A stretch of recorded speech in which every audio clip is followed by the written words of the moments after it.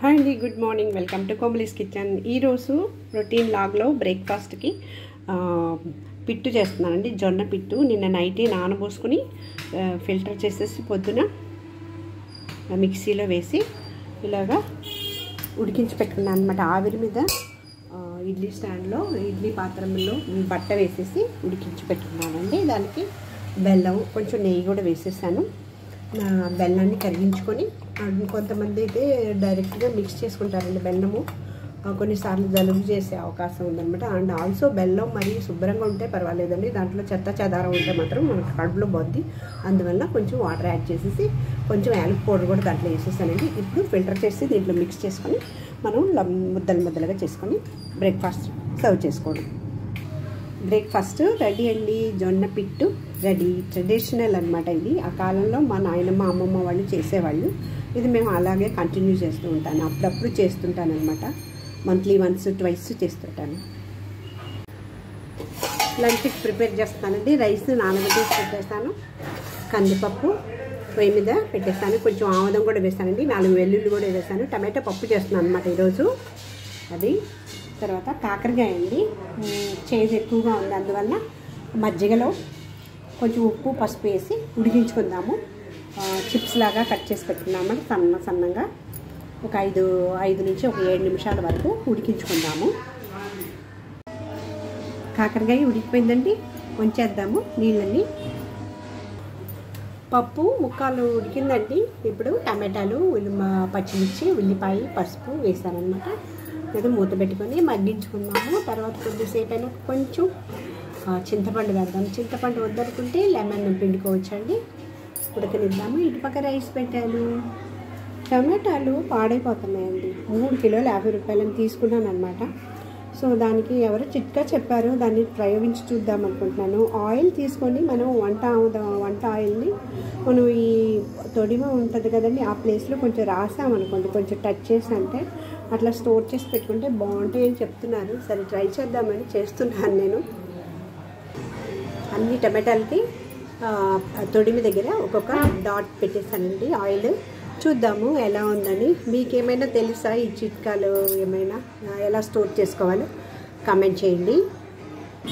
ఈ కాకరకాయ ఫ్రైకి కోసం మనం ఒక రెండు టేబుల్ స్పూన్లు శనగపిండి తీసుకున్నామండి. ఒక టేబుల్ స్పూన్ బియ్యం పిండి తీసుకున్నాము రైస్ ఫ్లోర్. తర్వాత ఇదేమో వెల్లుల్లి కారం అనమాట అది రెండు స్పూన్లు తీసుకున్నాను. హాఫ్ టేబుల్ స్పూన్ పసుపు తీసుకున్నాను. వన్ టేబుల్ స్పూన్ జీర జీలకర్ర పౌడరు.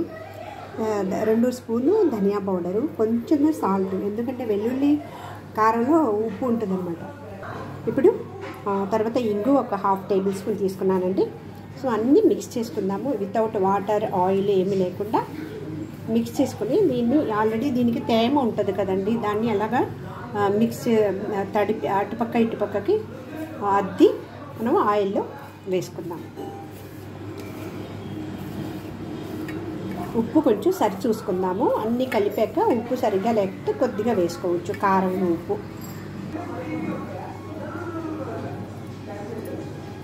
ఇలాగా అన్నీ అద్దేసి రెండు పక్కల అలా పెట్టేద్దామండి. దానికి కొంచెం తడి ఉంటుంది కదా అప్పుడు బాగా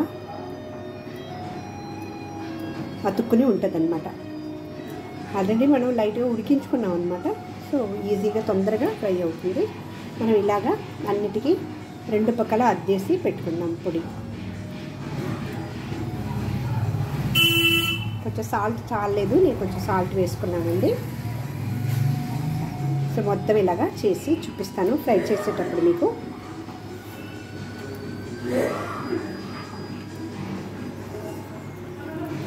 ఇటుపక్క రైస్ రెడీ అవుతుంది. ఆయిల్ పెట్టానండి.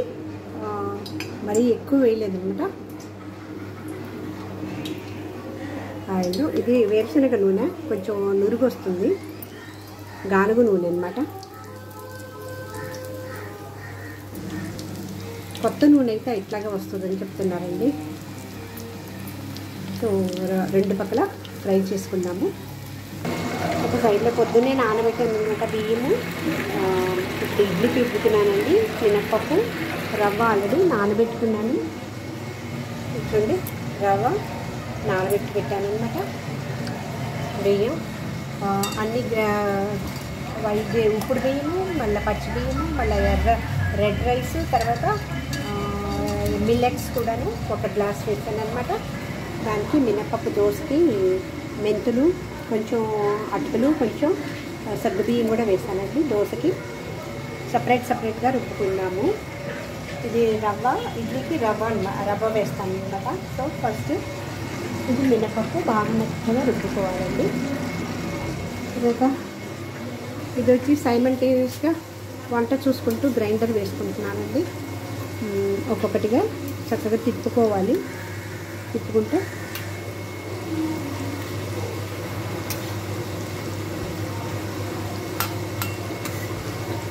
ఇలాగా తిప్పుకొని వన్ సైడ్ ఫ్రై అయిపోయినాక ఇంకొక సైడ్కి తిప్పుకోవాలన్నమాట. మరీ ఎక్కువ నూనె పోయకుండా కొంచెంగా కొద్దిగా వేసాను అనమాట నూనె. ఇది ఎప్పుడైనా ఒక్కసారి ఇలా చేసుకుంటామండి. కాకరకాయకి యూజువల్గా ఎక్కువ పడుతుంది అనమాట నూనె. సో ఎప్పుడైనా ఒక నెలకు ఒక్కసారి ఇలాగ చేసుకుంటే బాగుంటుంది. పప్పు ఆల్రెడీ ఉడుకుతుంది. పప్పు ఉడుకుతుందండి. నేను దీంట్లో చింతపండు వేయలేదు లెమన్ వేయలేదండి. నేను మాకు మామిడి చెట్టు ఉందన్నమాట ఊర్లో. దాన్ని మామిడికాయ సీజన్లో కొద్దిగా ఎండబెట్టి ఉప్పు వేసి ఎండ పసుపు వేసి ఎండబెట్టి పెట్టుకున్నాను ముక్కలు. అవి ఒక నాలుగైదు ముక్కలు వేసేసానండి. అది సరిపోతుంది ఇంకా. కొంచెం మగ్గితే సరిపోతుంది. ఇది సైడ్ డిష్ అనమాట కాకరకాయ నంచుకోవడానికి రైస్ కూడా అయిపోయింది రైస్. ఉంచేసాను అనమాట మేము రైస్ వండుకుంటామండి కుక్కర్లో ఏం పెట్టట్లేదు అనమాట పప్పుకి తగినంత ఉప్పు వేసేస్తున్నాం అండి.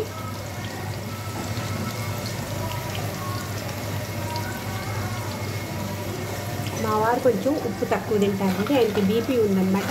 సో ఆయన్ని గమనించుకునే నేను వేస్తాను. మిగతా వాళ్ళు అడ్జస్ట్ చేసుకుంటారు. చాలలేదనుకుంటే కొంచెం వేసుకుంటారనమాట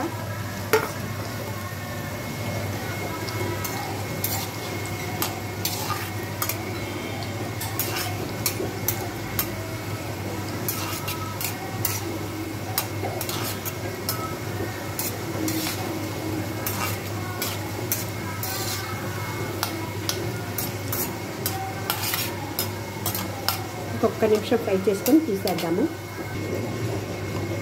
రెడీ అయిపోయిందండి తీసేద్దాము. ఎక్స్ట్రా ఆయిల్ దానికి మనము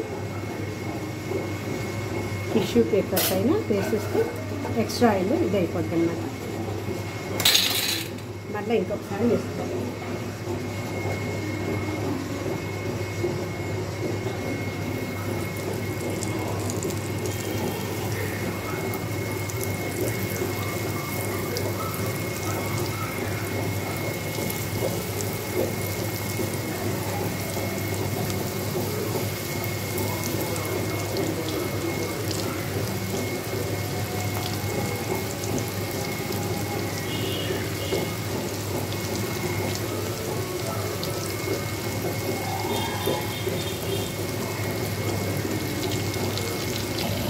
పప్పు ఉడికిపోయింది స్టవ్ ఆఫ్ చేస్తున్నానండి. పప్పు గుత్తితోటి మెదుపుకొని తిరగమాత పెట్టుకుందామండి. కాకరకాయ ఫ్రై అయిపోయిందండి. తర్వాత ఇక్కడ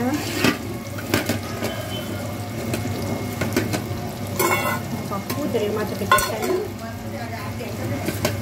రైస్ రెడీ అయిపోయింది. ఈరోజు లంచ్ మెను మా ఇంట్లో కాకరకాయ ఫ్రై చిప్స్ ఫ్రై తర్వాత టమాటో పప్పు రైస్ కర్డ్. ఇదండి ఈరోజు.